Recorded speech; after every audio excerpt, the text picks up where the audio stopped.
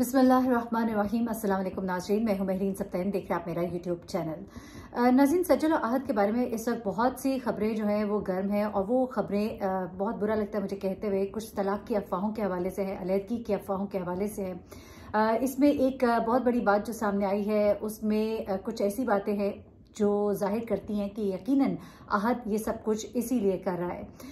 ये खबरें क्यों गर्म है और हकीकत क्या है? आहद के करीबी दोस्त ने कुछ बातें बताई हैं, वो आपके साथ शेयर करूँगी। सज्जल पर जो इल्ज़ाम लगाए जा रहे हैं और जो कहा जा रहा है कि गालबन ये वजह है, क्या वो वजह है कि नहीं है, ये सब कुछ आज आपको इस वीडियो में जानने का मिलेगा। और साथ में सज्जल के कुछ दोस्त जो है, उन्होंने भी अब लोगों को खुल्लम खुल्ला जवाब देने शुरू कर दिए ये सब क्या मामला है, ये सब आज आप इस वीडियो में जान सकेंगे। सबसे पहले तो मैं आ जाती हूँ उस सोर्स की तरफ़, उस दोस्त की तरफ़, जिसने आहद की तरफ़ से एक बयान दिया है। आप इसको आहद का बयान ही कह सकते हैं, यानी कि आहद रजामीर का ये समझ लीजिए कि अनऑफिशियली एक बयान है। जिसमें उसने ये कहा है कि सजल ने बेसिकली सजल और उसकी फैमिली ने, आहद रजा मीर और उनकी फैमिली को शादी में बुलाया ही नहीं था। इस बात में कितनी हकीकत है, इसका अंदाज़ा आप यहाँ से लगा सकते हैं कि उस दोस्त का ये कहना है कि चूँकि उनको इस शादी में प्रॉपर इन्विटेशन नहीं दिया गया था, क्योंकि दोनों के दरमियान मामला थोड़े खराब थे, नाराज़गी थी। आपको याद होगा कि मैंने बताया था कि सज्जल के वालिद ने भी कहा था कि दोनों के दरमियान छोटी छोटी कुछ बातें हैं, लेकिन शादी पर सब मामला ठीक हो जाएँगे, शादी पर आहद जो है वो आएगा, लेकिन आहद ने ये शादी अटेंड नहीं की। वालिद साहब का अगर बयान देखा जाए तो उससे तो यह अंदाज़ा होता है कि यकीनन इनकी तरफ़ से इन्विटेशन गया होगा, इनको कहा गया होगा और वो खुद से नहीं आए। लेकिन दूसरी तरफ़ आहद जो सज्जल के हर बयान के फ़ौरन बाद कोई ना कोई ऐसी फ़ोटो जो है, कोई ना कोई ऐसी तस्वीर पोस्ट कर देता है या ऐसा कोई इंसिडेंट शेयर करता है लोगों के साथ जिससे सज्जल को सुखी हो और लोगों को अंदाज़ा हो कि आहद और तो फ़ंक्शन दुबई में बैठा अटेंड कर रहा है, लेकिन अपनी ही साली, अकलौती साली की शादी में पाकिस्तान आने के लिए उसके पास वक्त नहीं है। गोया वो सज्जल को शर्मिंदा करना चाहता है। जबकि सज्जल जो है वो हर जगह ये बयान देती नज़र आती है आहत के बारे में कोई ना कोई अच्छी बात करती है अपने इंटरव्यूज़ में दिखाई देती है। अगर सज्जल ने आ, इतना उसको इनवाइट ना करना होता तो वो इतना अच्छा अच्छा ना बोलती। शायद उसने ये इंटरव्यू अपनी बहन की शादी से पहले दिया भी इसलिए था कि ये तमाम अच्छी बातें आहत के कानों तक पहुँचे और वो शादी में आने का इरादा बना ले। ये नहीं लगता तो ऐसे है कि सज्जल की फैमिली ने इन्विटेशन ज़रूर दिया था लेकिन उन लोगों ने आना पसंद ना किया। लेकिन अब उनकी तरफ़ से ये बयान दिया जा रहा है कि हमें तो इन्वाइट ही नहीं किया गया।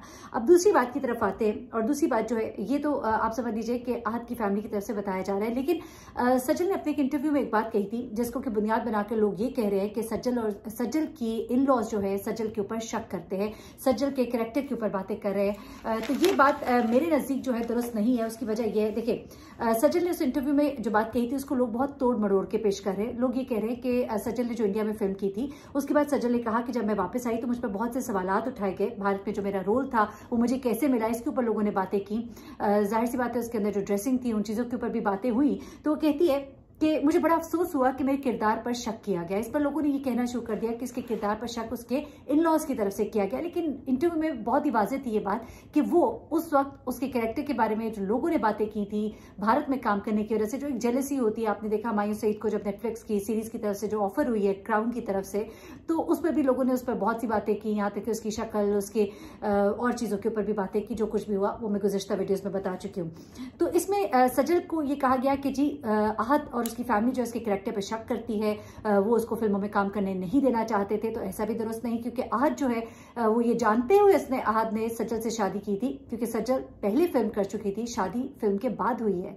फ़िल्म में वो काम करती रही है, ड्रामों में वो काम करती थी, ये सब कुछ आहद जानता था। तो करेक्टर की तो ऐसी कोई बात नहीं है, लेकिन जिसके जो मुँह में आता है, वो कहता है। एनीवेज सजल का जो बयान था वो बेसिकली उस फ़िल्म के हवाले से था और उस वक्त के लोगों के कमेंट्स के हवाले से था। अब अगली बात की तरफ़ आती हो और वो बात जो है वो बड़ी परेशान कन है और वो थोड़ी सी संजीदा बात है।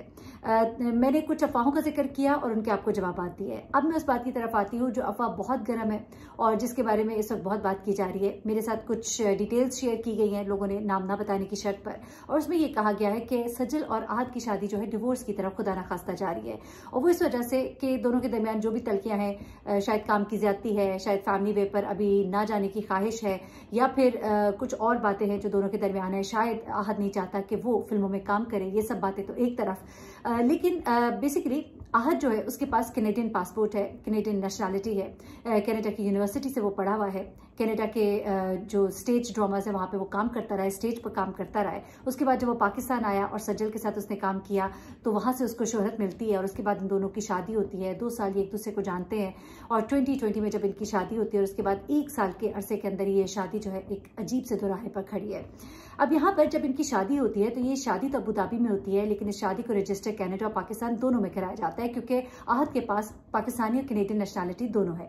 अब कनाडा में जब भी कोई डिवोर्स का मामला होता है तो मामला इतने सादे नहीं जिस तरह के पाकिस्तान में होते हैं। अब अगर ये शादी अपने अख्ताम की तरफ़ खुदा खास्ता जाती है तो कुछ ऐसी चीज़ें हैं जिनको कि पूरा करना ज़रूरी है डिवोर्स को वहाँ पर फ़ाइल करने के लिए। जिनमें से एक चीज़ ये होती है कि आपके दरमियान दूरियाँ हैं और आप इकट्ठे एक साल का अर्सा कम अज कम आपने नहीं गुजारा हुआ, ये आपने प्रूव करना होता है। इसके अलावा अगर दो और बातें हो जाए जिसमें आप अपने पार्टनर के ऊपर किसी किस्म की शक शुभात का इजहार करें चीटिंग का या वायलेंस यानी कि मारपीट का कोई मामला हो तो उसके ऊपर आप डिवोर्स के लिए फ़ाइल कर सकते हैं। ऐसे में आहत ने यह रास्ता चुना कि एक साल के लहती इख्तियार की जाए और पिछले साल गालबन अक्टूबर से इनके दरमियान कोई ताल्लुक वास्ता नहीं है, ना कट्ठे ये देखे गए, ना सोशल मीडिया पर इनकी कोई तस्वीर है। यहाँ तक कि अब शादी का मौका आता है, तब भी आहत जो है वो सज्जल के साथ दिखाई नहीं देते तो ऐसे में डिवोर्स फ़ाइल करने की जो एक शर्त है कि एक साल का अरसा आप दोनों एक दूसरे से अलग रहे हो तो ये कहा जा रहा है कि इस चीज़ को आज जो है पूरा करना चाह रहे हैं और यही वजह है कि ना वो सबूर की शादी में आए, ना वो कहीं सबूर के साथ माजद के साथ, सजल के साथ दिखाई देते हैं। और इस शर्त को पूरा कर रहे हैं ताकि वो अपनी डिवोर्स को कैनेडा में फ़ाइल कर सके। ये अभी अफवाहें हैं। बहुत से लोग इस बारे में बड़े कन्फर्म्ड हैं। कुछ करीबी जराए उनके, कुछ करीबी दोस्त हैं। मेरे कुछ शोबिस के जो जर्नलिस्ट हैं, उनसे मेरी बात हुई है। उन्होंने भी इस बात को कन्फर्म किया है कि मामला काफ़ी संगीन है और खासतौर पर सबूर की शादी में जब से शिरकत नहीं की आहद ने, उसके बाद से इनके मामला बड़े खराब है। अब कुछ सज्जल के दोस्त हैं जो मैदान में आना शुरू हो गया। उन्होंने सज्जल के हवाले से अब बातें करना शुरू कर दी है। कुछ उनको डिफेंड करते हुए दिखाई देते हैं, जिनमें सरफहरिस्त इस वक्त इमरान अब्बास नज़र आते हैं। इमरान अब्बास बेसिकली उनका बड़ा पॉजिटिव करेक्टर मुझे दिखाई देता है कई मामलों में जहाँ पर के कुछ ऐसे मामला होते हैं जब एक्टर एक्ट्रेसेस के ऊपर लोग बातें कर रहे होते हैं। और ऐसे में वो आकर उनको कंसोल भी करते हैं, उनके बारे में अच्छा अच्छा बोलते भी हैं।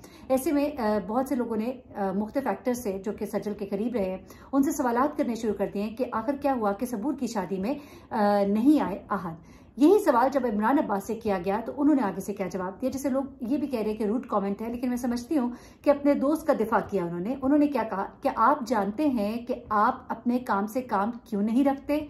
जितना आप लोगों की ज़िंदगी के बारे में सोचते हैं, अगर आप अपने बारे में सोचते तो कहीं के कहीं पहुँच जाते। यानी एक तरह से उन्होंने सवाल करने वालों को एक शटअप कॉल दी है।